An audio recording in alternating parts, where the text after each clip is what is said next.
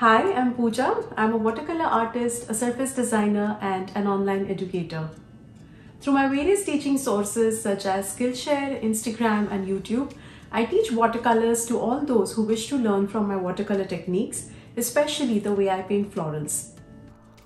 Today's tutorial is brought to you in collaboration with Fila Group of Art Supplies. I'm so excited to teach you to paint tulips in the most simplified way using watercolors.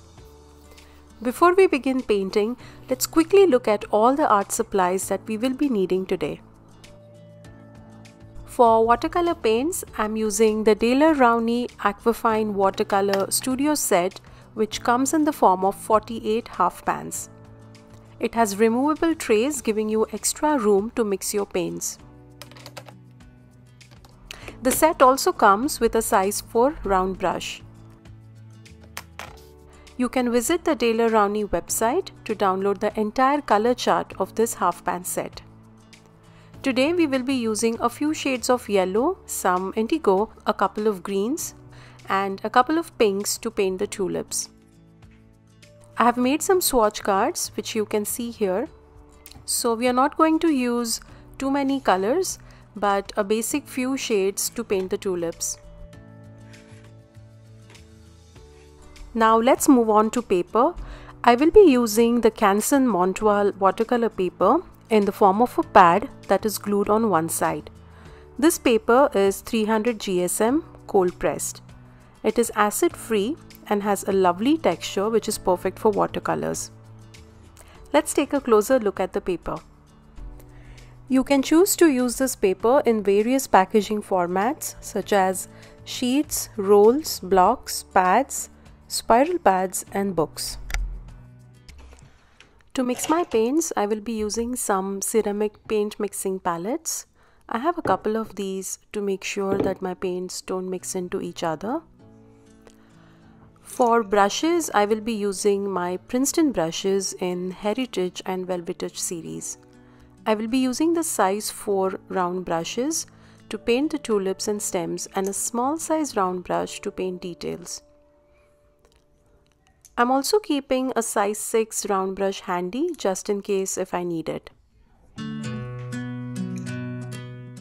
You will also need 2 cups of clean water to rinse your greens and pinks separately. You will also need a paper towel to dab your brushes and take off excess water after rinsing. Let's take a quick look at some tulips that I've painted as samples on the same paper.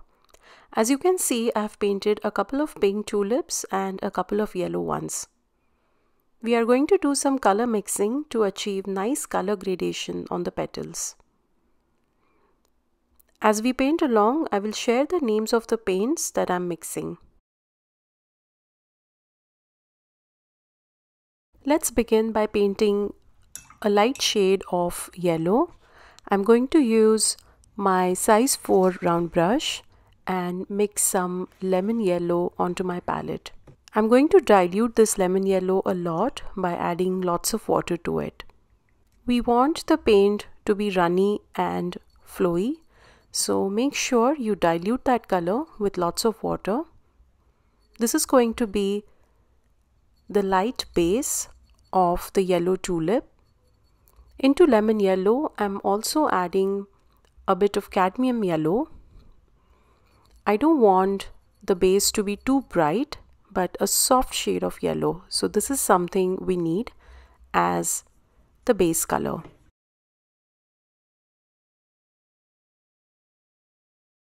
Now let's paint a shade of green.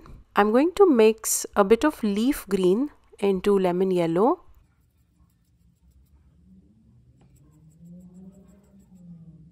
I'm going to make sure that this green color is also very runny so that it can glide smoothly onto paper. Mixing your paints ahead of time can really help you in achieving that impromptu blending of colors. To this mixture, I'm also adding a bit of sap green to have a really natural looking green. Sometimes your greens can look really artificial and bright. So to mute them down, you can either use your sap green, which is always a slightly more natural organic and a muted shade of green or you can also mix a bit of yellow ochre. So this is pretty much the shade of green that we will be using to paint the stems. Now let's proceed to mix a slightly darker shade of green in which I'm also going to add a bit of indigo. So I'm using the leaf green which I mixed earlier, the same shade of green, to which I'm going to add just a small amount of indigo. I'm also adding a bit of sap green to keep it a bit muted. So that's some indigo that I added to the two greens and this is a darker shade of green that we will be using along with the earlier shade of green. Now we are going to paint our tulips starting from the center of the page. We will roughly paint about three tulips, maybe two pinks and a yellow one in the center. Using the previously mixed yellow paint and my size 4 round brush, I'm going to start painting my tulip that's going to be in the center of the page. So start by making a rough oval shape like an egg or like a glass of wine. So that's the shape we are trying to paint here with a very narrow opening on the top. And then I'm going to make these small petal-like edges on the top which resemble the various petals of the tulips that are closed in.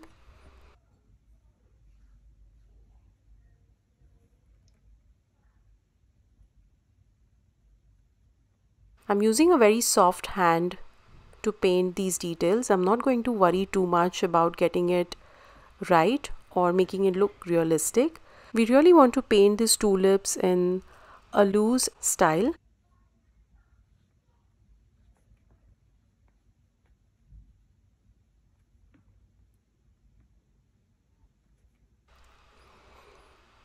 So using water, I'm making sure to spread the shade of lemon yellow onto the base. So that's the head of the tulip with small details to show the petals on the top. And I also left a small highlight on the petals in the form of a white cap. Now I'm using Indian yellow which is a really nice warm shade of yellow and using a moist brush I'm going to load that paint directly onto the top of the petals and because the layer underneath is still wet the lemon yellow and the Indian yellow will instantly bleed into each other. If you think your base layer has dried up a bit, don't worry, you can just wet your brush a bit and glide it smoothly on the sides and paint the colors into each other. You can just pull them down a bit so that they start blending naturally. The overall look of this tulip is going to be very soft and light. So make sure that you don't add too much of the Indian yellow. I'm just taking a bit of more color and adding it on the top so it organically bleeds into the base layer.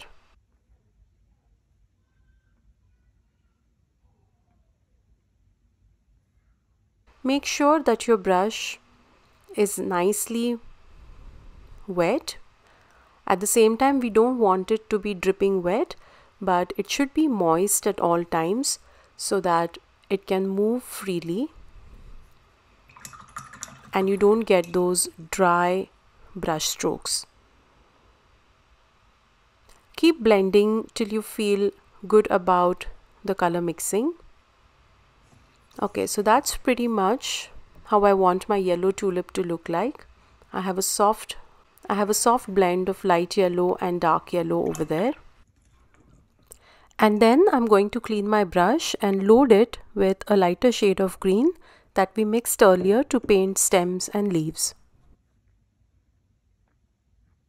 Using the same size 4 round brush, I'm gently going to pull a stem down from the base of the tulip head. Just glide your brush smoothly and make sure your wrist moves along the line. So that's the stem. Make sure the stem is not too short otherwise you won't be able to fit in the long leaves of the tulips so make sure you start out with a long stem now I want the stem to bleed into the yellow head of the tulip so I'm just going to make sure that the green blends into the yellow just a bit. So I'm going to wet my brush again and help the green blend into the yellow. Something like this. Now using a darker shade of green I'm just going to draw a slight outline on the left side of the stem just to show some depth and then I'm going to blend the light green into the dark green.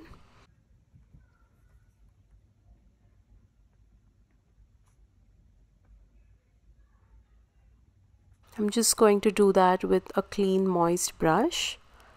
But don't stress too much about this. You want the stems to look natural. Okay. Now I want to add another tulip on the left and the right side. So let's begin with the tulip on the left hand side first. For that I'm going to mix a very soft shade of pink. And for that I'm going to use permanent rose from my Daler Rowney half pan set. It's a beautiful shade of pink which I'm going to dilute a lot to use as the base color. So I'm adding lots of water as you can see and making sure that the base color is extremely light. I'm also adding a bit of lemon yellow to my pink to have that corally peachy touch to it.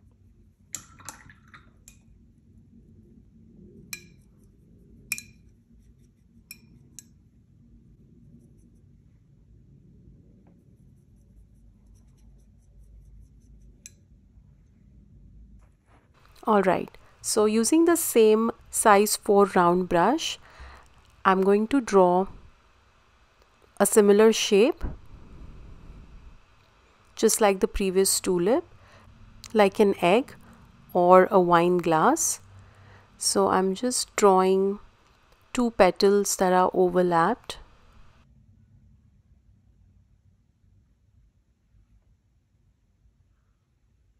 Take your time to get the shape right. Make sure the base of the tulip head is slightly broader and not too thin. There are a variety of tulips that you will see on the internet if you try to look for some pictures but um, here we are going to paint the tulips in the simplest way possible so we chose this shape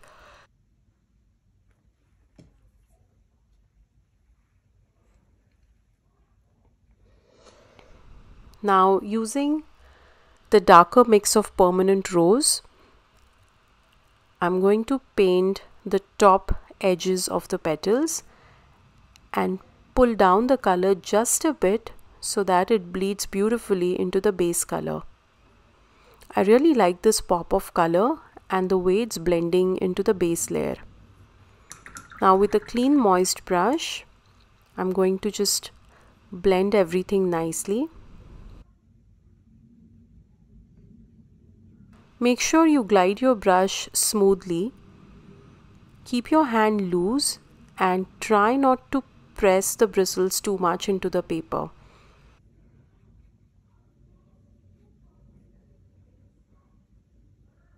You can achieve this by holding the brush a bit at the back and help the colors move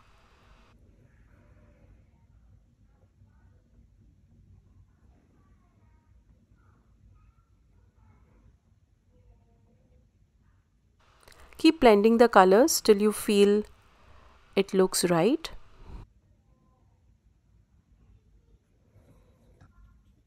Okay, now I'm going to rinse my brush and load it into the lighter mix of green and draw a stem that's a bit curved and just pull it down ever so lightly. I'm going to allow the green to blend into the petals a bit.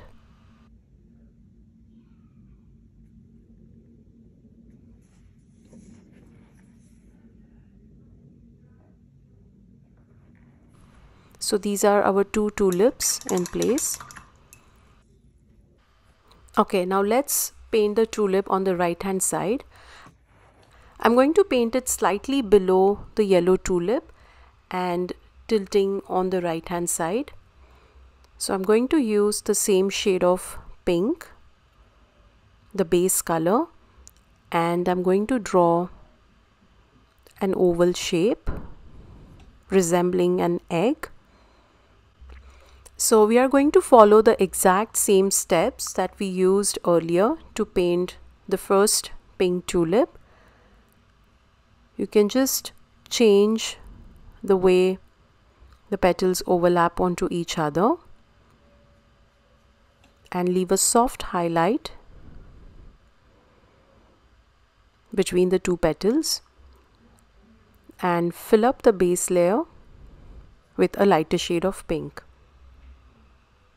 I'm still using my size 4 round brush and once you're okay with the basic shape of the tulip you can start adding a darker mix of pink. I'm just going to add it a bit on the top. And it instantly starts flowing down into the wet layer. I love the way this one is blending so I'm not going to do too much here.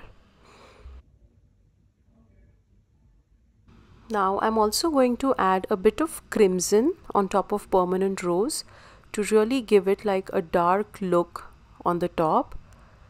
So that's a bit of crimson that's blending into permanent rose. I'm just going to blend all the colors nicely.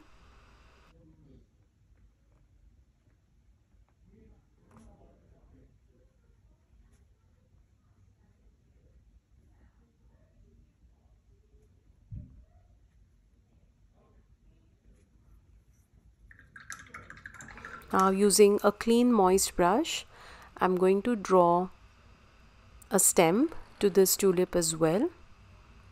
A bit more curved.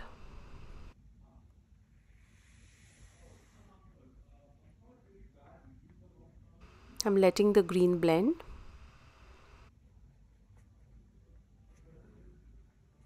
I'm just adding a bit of yellow on the bottom portion of the tulips just to show a slight color variation from the previous pink tulip. And now I'm going to switch to my size 4 brush from the heritage series. And I'm going to use that brush to draw the leaves. Now we will start painting the leaves from the base of the stems. So we will draw a couple of leaves that are coming out from each of the stems. Make sure your leaves are thick and hold your brush a bit in perpendicular direction so that you can move it smoothly onto the paper. So that's the first leaf and I'm filling it up with the same shade of green that we mixed earlier, the lighter mix. And then I'm going to load my brush into the darker mix of green and just dab it a bit on the top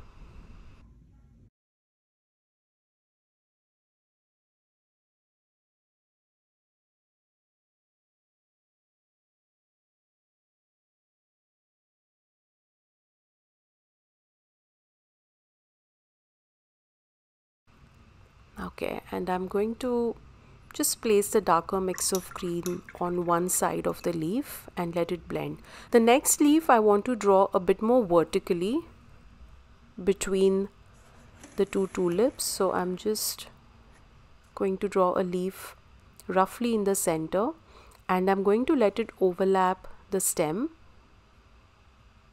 and I'm going to fill it up with the lighter shade of green and then add a darker mix of green on the top.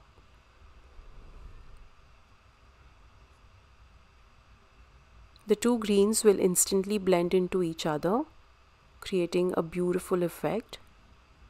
We want to make sure that all the leaves look a bit different. We want a few darker ones and a few lighter ones. so those are our two leaves in place now because the first two leaves are in the same direction I want to draw a leaf now that is curving out towards the left.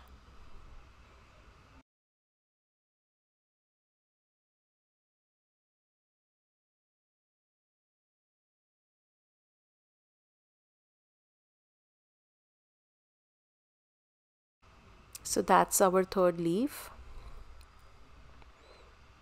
I'm going to add a bit of dark green near the top and also along the sides and just pull it down a bit.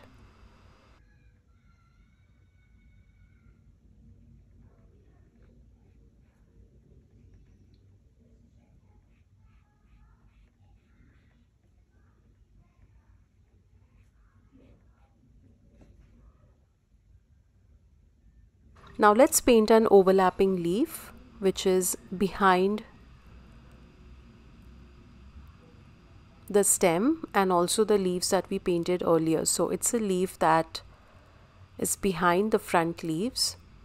So I'm just going to paint it in the white gaps that I see around the two stems.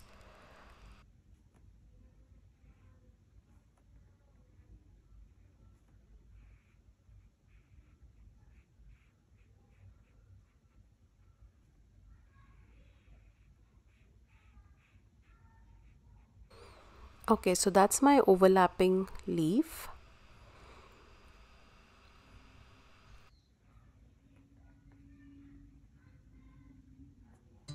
And that's pretty much about it. I quite like how the simple piece turned out. I hope you were able to paint along with me. Thank you so much for watching this tutorial today. Lastly, be sure to follow me on my Instagram account by the lakeside for watercolor tips and other updates about my products and classes.